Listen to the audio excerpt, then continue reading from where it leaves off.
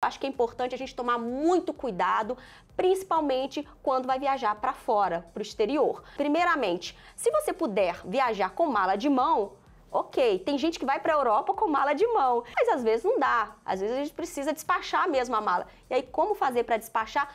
Com segurança, né, é, com alguns cuidados. Então eu listei aqui algumas medidas, né. Primeiramente, etiquete a sua mala. É importante você colocar lá o seu nome, é, um e-mail. Eu coloco até telefone, sabe? Assim, você identificar ali com aquela tag. Além disso, usar um cadeado.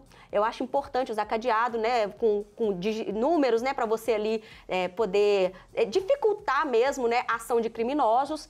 Além disso, também existem chips que você pode colocar dentro da mala. É, outra coisa também importante, assim, é evitar. As pessoas até falam, coloque objetos de valor no fundo da mala, porque no caso de uma ação, a pessoa vai pegar o que está mais fácil ali. Uhum ok, colocar no fundo da mala, mas eu recomendo que se você tem objetos de valor, não coloque na mala a ser despachada.